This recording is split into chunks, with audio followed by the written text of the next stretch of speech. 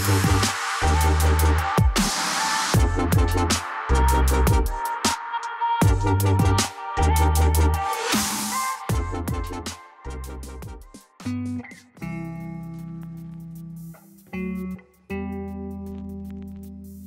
hope to take the audience back to China 150 years ago when this young man, Hudson Taylor, set sail for China. Now, we know that in those days, the journey took months, not days. That is hard work. And when Taylor arrived in China, he found himself caught in the midst of an international conflict, political conflict between two empires, now both of which oppose his idealistic and yet sincere goal. And yet Taylor did not give up. He learned to move men through God by prayer alone.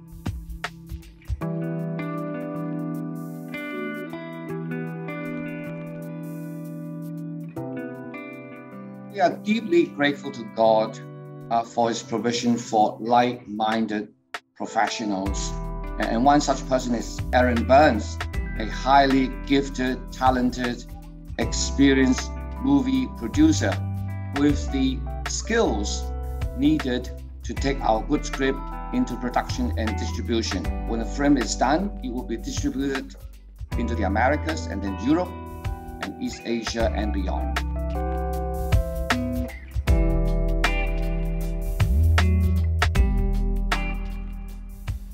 Every film uh, has its own unique challenges, but when you have a story that's set in a faraway time and place, uh, in film parlance we call that a period piece, you have to recreate everything. Shanghai in the 1860s no longer exists. Uh, the sets, the costumes, the carts and the wagons, all of the ships, everything that, that's in that world has to be recreated. It's, it's a challenge, uh, but it's also fun and an opportunity to welcome the audience back into Hudson Taylor's world.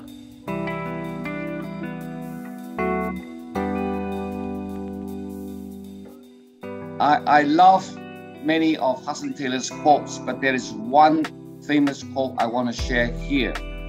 And he said, If I had a thousand pounds, China should have it. If I had a thousand lives, China should have them. And now most people would stop uh, right here with the quote. But actually, that was not the end of the quote because Hudson Taylor continued. He said, No, not China, but Christ. Can we do too much for Him? Can we do enough for such a precious Savior? And I just pray that this movie will be just a small token of our thanks to God for what He has done, not only for us, but for the world. Sometimes people are surprised at how long it takes to create a feature film. Phase one is development. And this is where you start with that idea of what the film could be. And you write the script, uh, you do all the location scouting, all the research, all the preparation. Uh, and that process can be anywhere from a couple of years up to five, six, seven years. Uh, once everything is poised, ready to go, we'll launch into the pre-production phase. And that's really just several months counting down uh, towards the day that production is gonna launch. We're building sets, we're sewing costumes, we're hiring actors, and, and that middle phase, production, that's when most people think of movie making. You think of the cameras on the shoulders and, and filming with all your actors, everything exciting on set. That's really the shortest phase. Often that's only 25, 35, 45 days of a multi-year process. So once we finish production and the finished footage uh, shows up on the editor's desk and we begin post-production. That's editing and then music, color correction, visual effects, audio effects. Uh, once the film is finally completed, we enter marketing and distribution. And this is one of the most exciting phases of the production because this is really the chance to share the work that's been going on for years and years with an audience all around the world and to be able to watch them enjoy the story that we've been crafting.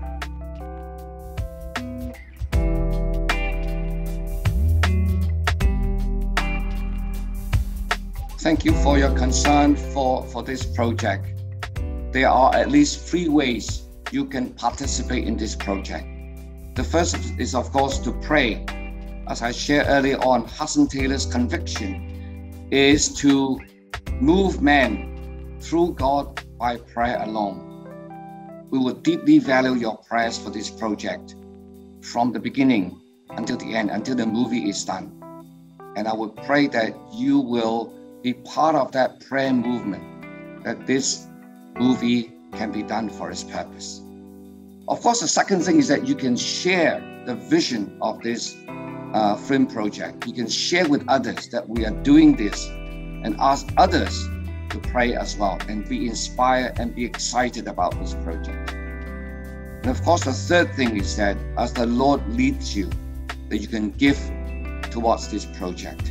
And you can find out more about this project through our emails, our prayer letters, and the website.